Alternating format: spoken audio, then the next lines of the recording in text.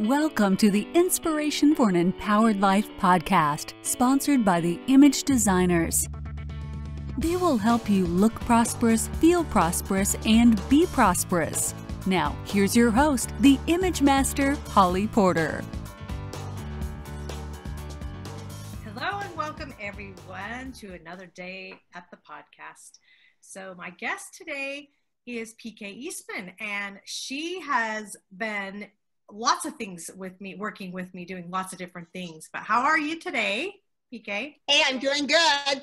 My friend sent me a little thing this morning and said, uh, happy money making morning. And I thought, or Monday. And I just, that just made my day. I thought that was so clever. I like I always that. mindset Monday. So that means work, but money making Monday, mon, well, now I can't even say it. It's a Money making Monday. Ooh, it's like the. I liked it. I like it too. Let's let's keep that. I like it. Of course, I'm all about the prosperity now with my rebrand on my Yeah. name. So that's awesome. There you go. Well, I'm happy you're here. And I just want the listeners to also know she is also one of the 4040 Rules authors in the volume one book. We'll have a volume two coming out this summer. And she was with the first one. And PK, tell us a little bit more about yourself. What gets you up every morning? Well, you're a night Well, owl. I will tell you. I'm a night owl. So it's more like what keeps you up at night? yeah. Right. Um, you know, I'm just happy. I, I, I've always been optimistic, enthusiastic, and uh, high energy. I just was blessed with that, uh, that set of gifts, and I've I've always loved that. And um, I was reading something you wrote this morning, a post about so many women have gone through all kinds of the winner women. I can't remember what you call them but successful women have gone through ups and downs and ups and downs. And I think I've just been through enough of those to know that if a downtime comes, it's it's going to turn around and there's just no sense in worrying about it in, in the sense of, you know, hand wringing and all of that. It's just, well, how are we going to solve this problem? And so if it, when I get up, I'm just happy to be getting up knowing that there's going to be something fun during the day. And uh, I made a gigantic move in my life about two and a half years ago. I had I was born in the Pacific Northwest and had lived in uh, Portland, Oregon. Um, went to college there, married there, raised uh, our family there. Uh, my children all went to the same high school I did, and and I know that in that time period, that even back then, that was very unusual. All of our neighbors, all of our neighbors were coming in and out and, and, you know, climbing corporate ladders. And my husband and I met as teachers. Then he moved into high tech with a company that was global, but their headquarters were in the Beaverton area. So we just stayed there and stayed there and stayed there. And he passed away, be five years ago, I think this summer. And I just knew the minute I could, I would get out of there. I'm not a gray. Give me any shade of blue and I'm happy. Give me gray clouds and tall trees blocking the light, and I am not happy.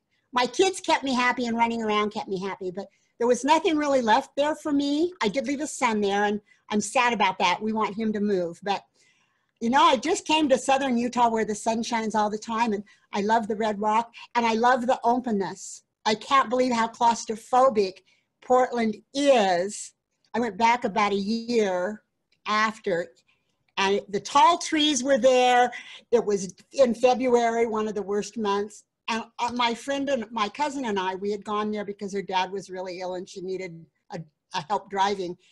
And uh, I'm not kidding, we were climbing the walls. We were in this gorgeous Tuscan home uh, of her ex-husband's sister. Uh, you know, you know how families are these days. Oh, yeah. And so, uh, but it was gorgeous, but it was dark wood and dark red upholstery and, and tall trees reaching clear up to the clouds. And I'm not kidding you, both of us, she's from Vegas. And uh, we were just climbing the walls, literally, to get, we wanted to see her dad, my, my brother-in-law or whatever he is, and uh, was.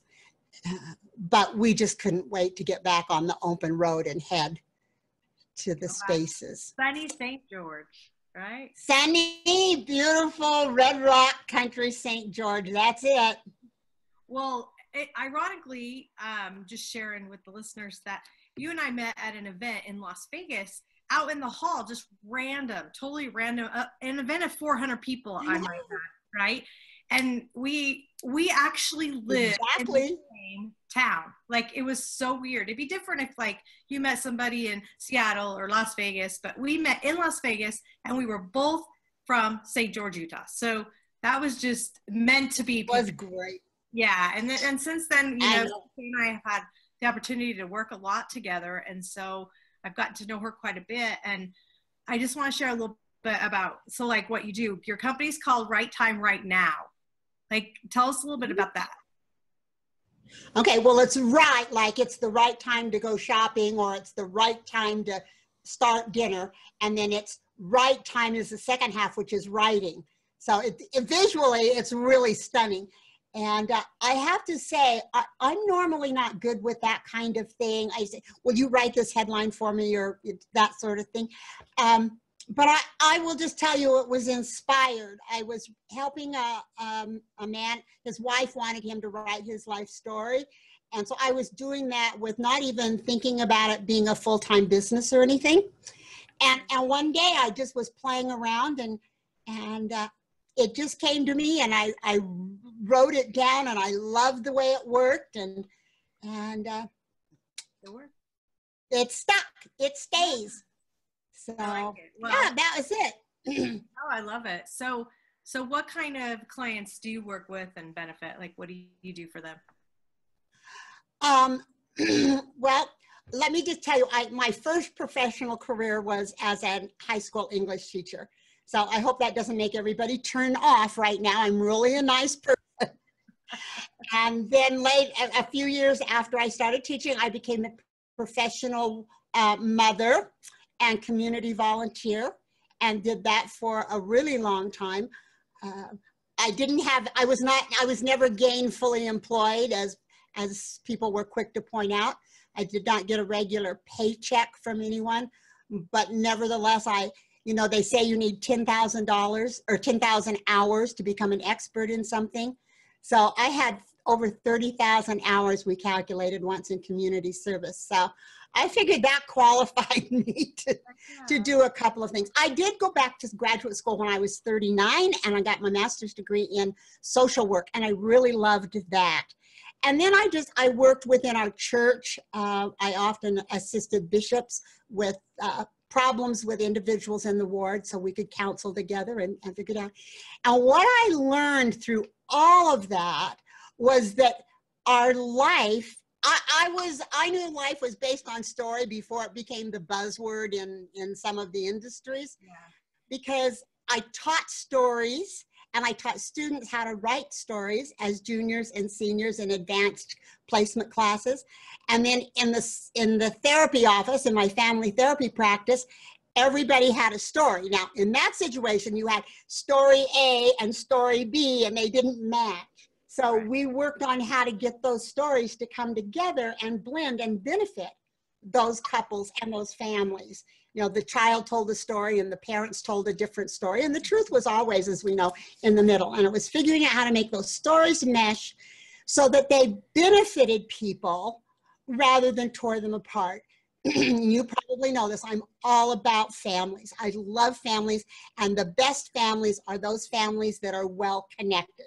Doesn't mean they don't argue, it doesn't mean they don't fight, it doesn't mean they don't get mad, but it means that they're able to do that in a context of staying connected and, and being accepted in that family for whomever they are. So that's how I kind of got into this and it was writing stories. So I write stories. I have a 27 year old client who has some really strong views about medicating children. He was medicated with one medication piled on another from the time he was seven until he was 27. And um, finally, he just said, enough is enough. It, it, was ruining his life. So we're writing his story on what it was like to be medicated and have no voice in that, Yeah. and how he has recovered and what he's doing from a health perspective. The, he's eating different foods. He follows naturopathic remedies for colds and flu and those kinds of things. And so his story is really critical to a huge segment of the population. I don't know the numbers for the United States yet, but I'm looking them up.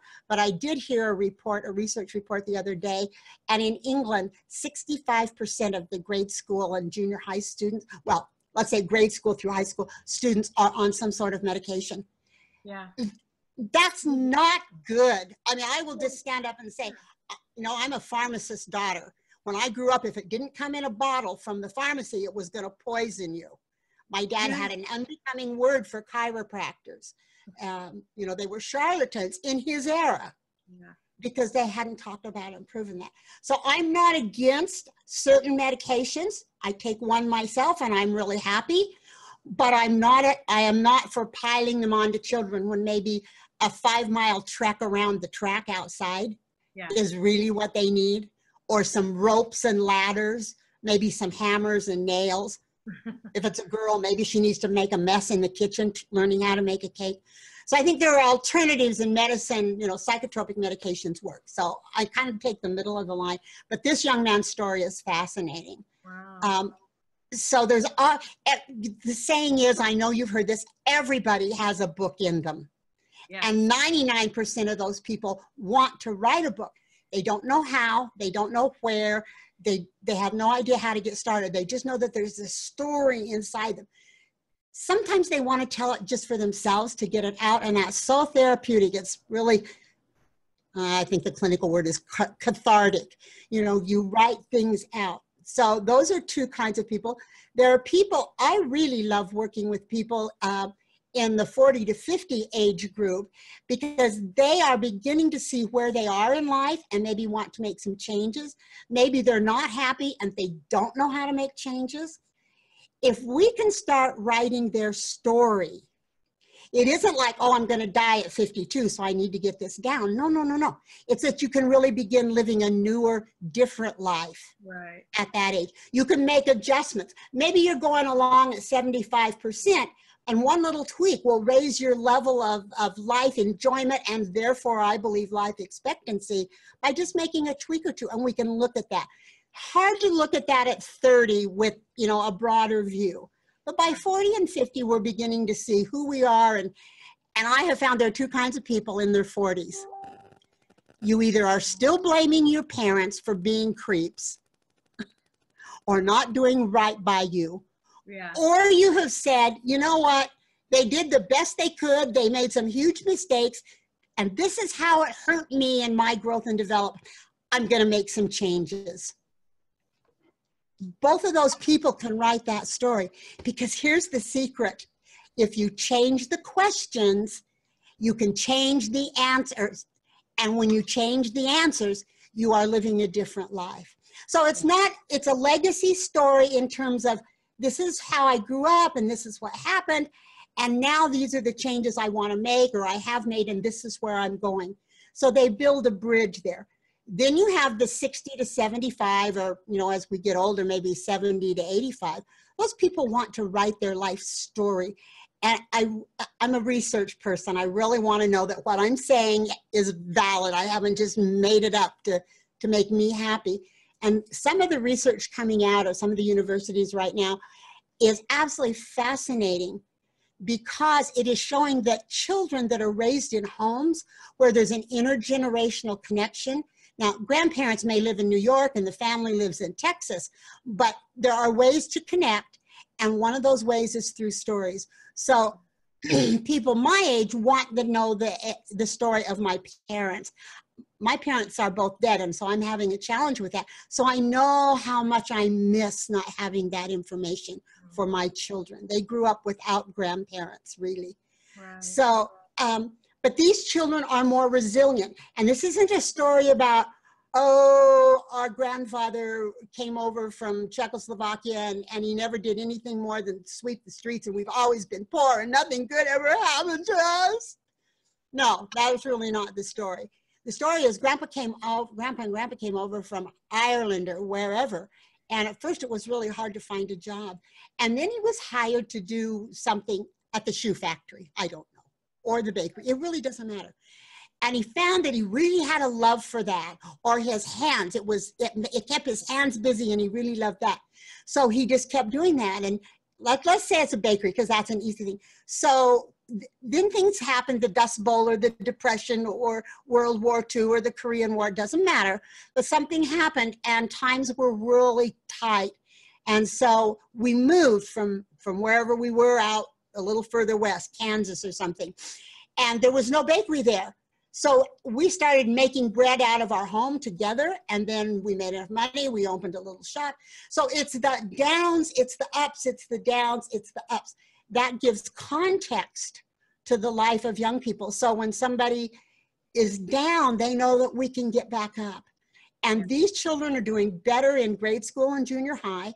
They're avoiding gangs at a higher percentage. They're getting higher grades and they're entering college and graduating with college uh, you know, better job opportunities at the end of college because they're part of a bigger community and it goes back to families not not just me my husband and our dog which is a fine family but these children that grow up in families that have intergenerational connections are grounded i think that's a really good word are grounded in a way that children that are just a part of a family that is isolated and doesn't have that level of connection with something greater.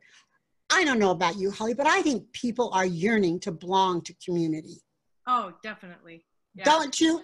And that's what these books do. You, it can help us identify our community. It can help us build our own community with other parents. And gosh, I'm so sorry.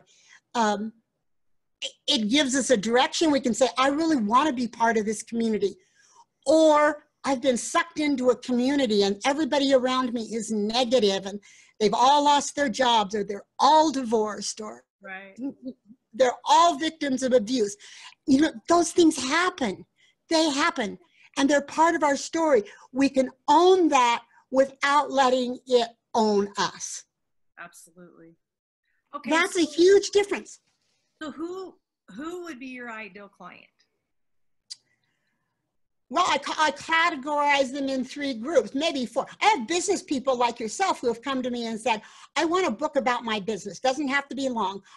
Let's, I will just tell you, I love words. I will write anything. You're awesome at words, that's for sure. I Editing is a few of them.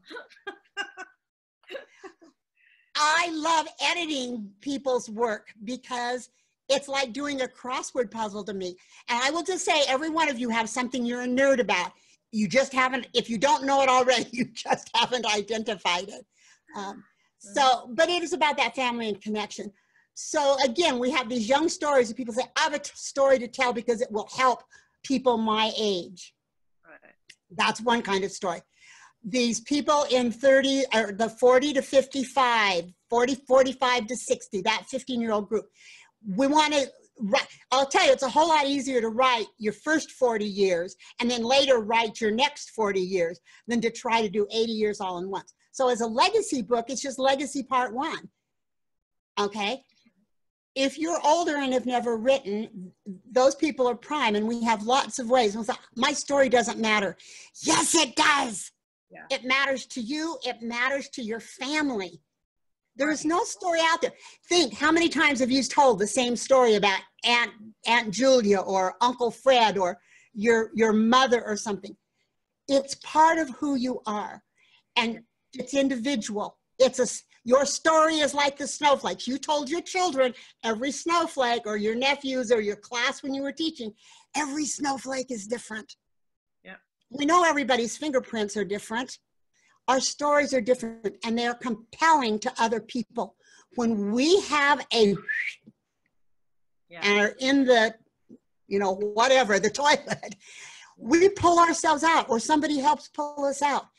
That story teaches a lesson, not only to you, but to somebody else. Absolutely. Oh my gosh, that happened to her.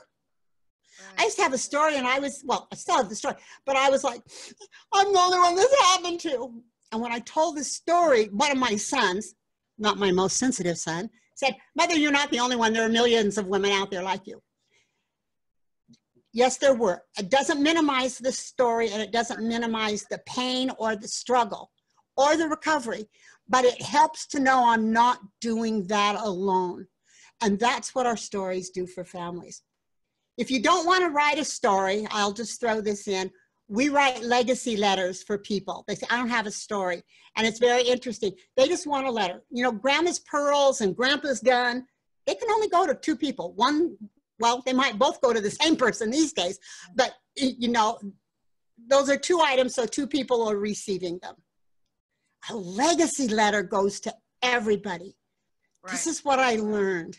And this is why it matters. And this is what I want you to know because I want your future to be better than mine. Yeah. Quit hating your uncle. He didn't, he was crazy. you know. Yeah. Your mom did the best she could. And I know that I, as a grandmother, I was partly responsible for that. But never doubt for one minute, we loved you. What a legacy that is to leave a child who, an only child who maybe doesn't have connection, a child who maybe has been estranged. And by child, I mean anyone from zero to 70, maybe 80. We're all adults or children. We're all adults with children inside, and we're all part of some family. Yeah. So if somebody Our regrets to- are, I'm sorry? Oh, I, somebody wanted to get a hold of you. Our time's up, but and I love all this because it's so important to me as well. Uh, but if they want to get a hold of you, how would they do that, PK? You know what? We're working on a website. I, ha- I just, I love technology, but I'm the simple kind. So I will just tell you, you can find me on Facebook Messenger at PK Eastman. You can get a hold of me through Holly. We're neighbors. Um, yeah. You can find me on Facebook. Um, I, oh, I should have done this earlier we did this facebook link below so they can grab it there as well. You are me? I will. When when we okay post, yeah. we'll you can find me on facebook and if you you know if you find my feed you can you know reach me there. But i love messenger. Yeah. we can phone and talk. We can phone and do video and we can just leave messages. So it's that's I notice when I search you, I have to do the I have to do P dot K dot, or it doesn't come up for me, just so you know if you're listening. Yes, and that was my mistake. On the website, we're going to clean that little mistake up. I mean, it's not a mistake, it just makes it more complicated. Oh, yeah, it's just harder to search. And so I, even though you should be popping up all over mine all the time, I, when I search you, sometimes that's what I ha- forget I have to do. So yeah. just a little reminder. But well, oh my gosh. So yeah, we could talk about this forever. Um, so if anyone wants to get a hold of her, send her send PK a message on Messenger, and she's really good at following up and keeping through. And you want to talk to her, you know, maybe about a book that's inside of you, your story, your legacy. Definitely, uh, she's she's the gal to talk to. She she always makes me sound so much smarter. oh no, I'm a simple girl when it comes. I just like get get it out, say what you got to say in a little bit of words, and she can totally expand it into a whole book. So it's a way to be anyway, thank you so much. Anything else? Oh gosh, I'm so grateful that you asked me to be a guest here. Yeah. It's been a pleasure. Oh well, it's awesome, and it's never enough time. But I know I know people have lots of things to get on with their day. Sure. So I hope everybody enjoys their day, and thank you for joining us. And we will see you next time. Thanks, PK. Hey, invite me back. I love you. Bye bye. Love you. Bye. Thank you for listening to the Inspiration for an Empowered Life podcast, sponsored by the Image Designers. They will help you look prosperous, feel prosperous, and be prosperous. You can learn more about them at theimagedesigners.com or email holly at hollyporter.com.